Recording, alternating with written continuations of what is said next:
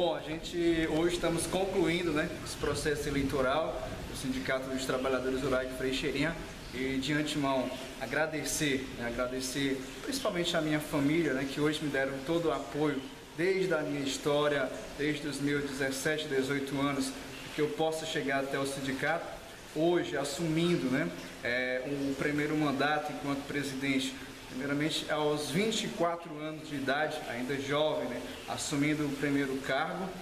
é, enquanto presidente. Hoje, é, indo, né, concluímos hoje o processo eleitoral e indo aí para a reeleição, assumindo o segundo mandato e agradecer principalmente aos agricultores que contribuíram, que participaram, que vieram aqui e votaram. A gente conseguiu alcançar o nosso coro e com isso a gente teve 170 agricultores que vieram até aqui e votaram. A gente teve três urnas, duas urnas ficaram aqui na sede do sindicato e uma urna na delegacia sindical de Oiticica. Agradecer a toda a comissão eleitoral que vieram, é, Lenira, o Arlene, que são da coordenação é, da regional da FETRAES de Sobral,